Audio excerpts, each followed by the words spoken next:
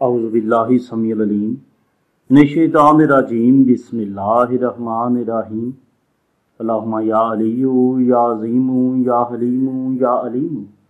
अंता रब्बी व इल्म का हस्बी फ़नेमु रब्बु रब्बी व नेमुल हस्बु तंसुरु व अंतल अज़ीज़ुर रहीम अस्सलातु वस्सलामु अलैका या सय्यदी या रसूल अल्लाह व अला आलिका व या सय्यदी या नबी अल्लाह वल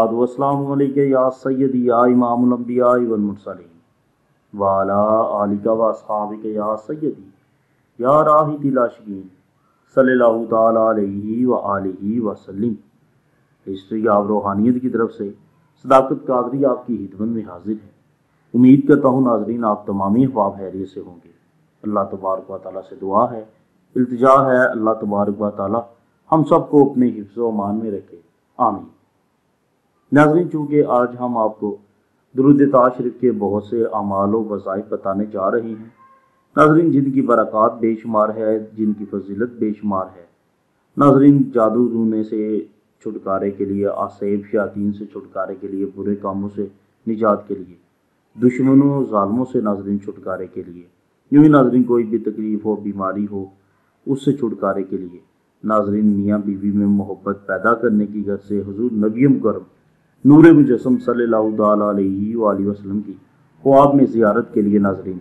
और इसके अलावा कोई साहब कशफ बनना चाहे तो नाजरीन, उसका भी ये बहुत ही मुफीद, बहुत ही खास हम आपको वजीफ़ा बताएँगे। और नाजरीन, हम आपको ये ज़रूर कहेंगे कि दरुद ताज शरीफ आप ज़रूर पढ़ें, इसके वज़ाइफ ज़रूर करें, इसके अमाल ज़रूर करें। उससे पहले नाजरीन, कम से कम एक मरतबा तर्जमे के साथ दरुद ताज शरीफ ज़रूर पढ़ लें। क्योंकि नाजरीन, हम अरबी तर्जमा तो इतना जानते नहीं।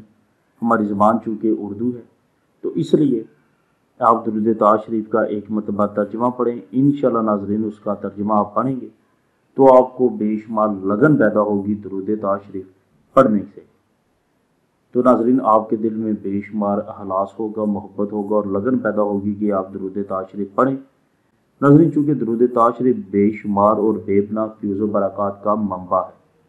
यह नाजरीन दरुद ताज आशकान रसूल सल्लल्लाहु अलैहि का महबूब वजीफ़ा है, उनके मामला में रहा।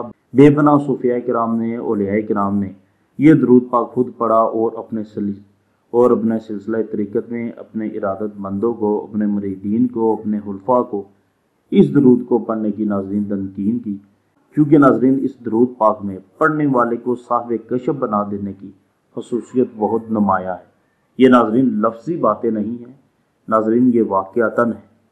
तो नाजरीन, हम आपको सबसे पहले जो वजीफ़ा बताने जा रहे हैं, वो नाजरीन, हम आपको बताने जा रहे हैं, जो बहुत खास है, और हर मुसलमान, हर इस्लामी बहन भाई की ये ख्वाहिश ज़रूर है कि हमें हजूर नबी पाक सल्लल्लाहु अलैहि वसल्लम की ज़ियारत हो जाए ख्वाब में। जो शख्स नाजरीन अरूज माह में, यानी नाजरीन चाँद की पहली से चौदहवीं तक नाजरीन ये आपने याद रखना है, अरूज माह अक्सर लोग पूछते हैं, ये अरूज माह होता क्या है?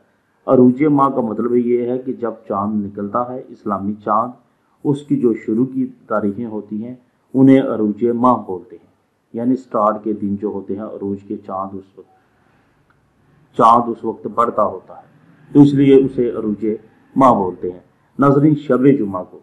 यानी पहला जो जुमा है, आप सिंपल याद रख लें और जुमा में जो पहला जुमा है उस नाजरीन जुमे की शब को आपने बाद नमाज़ ईशा, बावजू नाजरीन आपने पाक साफ़ कपड़े पहनकर इतर खुशबू लगाकर, कमरे में बिलोबान या अगरबत्तियाँ जलाकर 170 बार आपने इस दरूद पाक को पढ़कर सो जाना है, यानी दरूद ताज शरीफ को।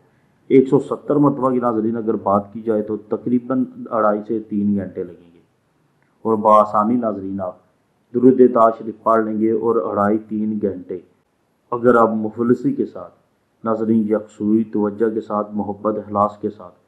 अगर नाजरीन, आप रोज़ाना ग्यारह रोज़ तक स्टार्ट आपने शब जुमा को करना है, उसके बाद नाजरीन, आपने हर रात, यानी कि ग्यारह रोज़ तक मुतवातर, बिला किसी नागे के नागा ना होने पाए। इसी तरह पढ़ते रहेंगे हजूर नबीम करम नूर मुजस्म अलैहि वसल्लम की ज़ियारत का शर्फ हासिल करने की नीयत से तो नाजरीन, आपको ये शर्फ ज़रूर हासिल होगा। मसला है कि आपकी अकीदत तो मोहब्बत कितनी है। यूँ ही नाजरीन, सहरो आसेब जिन्नो शयातीन के दफ़ा के लिए और नाजरीन चीचक के लिए आपने ग्यारह मरतबा दरुद शरीफ पढ़ना है और दम करें, इंशाल्लाह फ़ायदा हासिल होगा। खुद ही पढ़ें, अपने जिसम पर दम कर लें। इन नाजरीन, ये भलाएँ जाती रहेंगी। नाजरीन, हम ये मुख्तसर अमाल हैं। बिस्मिल्लाह शरीफ में भी बेशुमार बरकत है। लेकिन हम बिस्मिल्लाह शरीफ को भी उस नीयत के साथ, उस खलूस के साथ नहीं पढ़ते। इसलिए नाजरीन, ये मुख्तसर मुख्तसर अमाल करके हम बरक़ात बहुत हासिल कर सकते हैं। लेकिन होती क्यों नहीं? हम पढ़ते कहीं, हम पढ़ रहे होते हैं, यहाँ ध्यान होता है कहीं और। वजह यह है, यूँ ही नाजरीन कलब की सफ़ाई के लिए हर रोज़ बार नमाज़ फजर न, यानी यानी नाजरीन, सुबह की नमाज़ के बाद। साठ मरतबा नाजरीन, आपने इस दरूद पाक को पढ़ना है।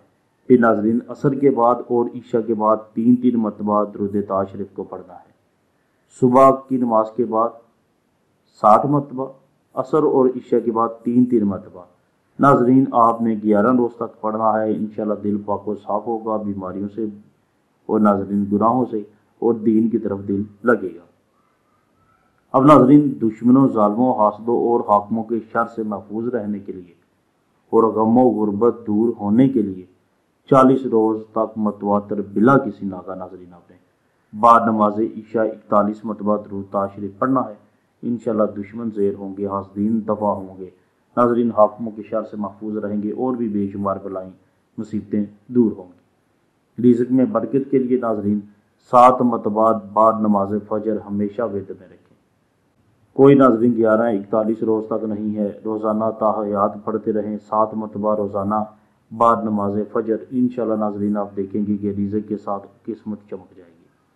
अगर नाजरीन, हामला पल हल यानी तकलीफ़ हो तो सात दिन तक बराबर नाजरी सात मतबा पानी पर दम करके वो पानी पी लिया करें, या किसी से दम करवा के पिया करें इन नाजरीन बहुत बरकत होगी। वो तकलीफ़ हमल की जो है वो नहीं होगी। नाजरीन, मियाँ बीवी में मोहब्बत के लिए, हालिस मोहब्बत के लिए अगर आप करना चाहते हैं, खुद करना चाहते हैं, मियाँ मियाँ या बीवी या नाजरीन, सास ससुर को करना चाहे कि आप बच्चे की बहू की आपस में बन जाए, ठीक हो जाए।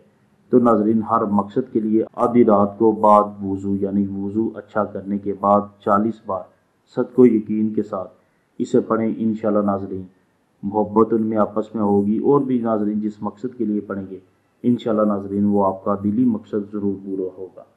यूँ ही नाजरीन आप आपने जानना चाहते हैं कि आप साहिब कशफ कैसे बनना चाहते हैं। तो नाजरीन, उसका जो बेहतरीन हाल है वो यही है कि दरुद ताज शरीफ को रोज़ाना पढ़ते रहें।